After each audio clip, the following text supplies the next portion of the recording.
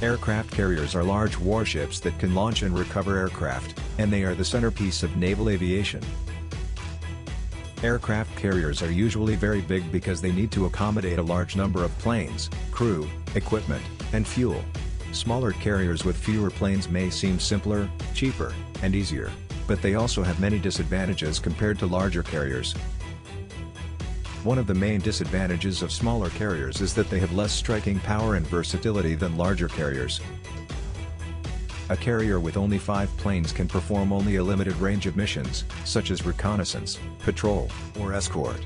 A carrier with 50 or more planes can perform a variety of missions, such as air superiority, strike, electronic warfare, anti-submarine warfare, or command and control.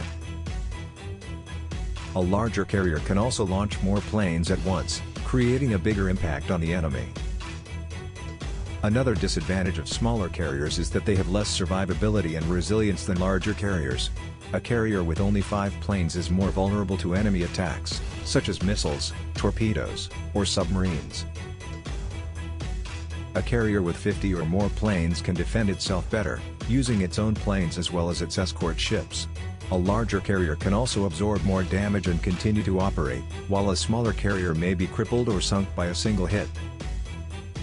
Also, smaller carriers have less efficiency and economy than larger carriers. A carrier with only 5 planes requires almost the same amount of crew, maintenance, and support as a carrier with 50 or more planes. A larger carrier can achieve more economies of scale and lower operating costs per plane. A larger carrier can also stay at sea longer and travel farther than a smaller carrier, reducing the need for frequent refueling and resupply. If you are to choose between a big aircraft carrier or a small aircraft carrier, which one will you go for? Let me know in the comments section. Have a good day.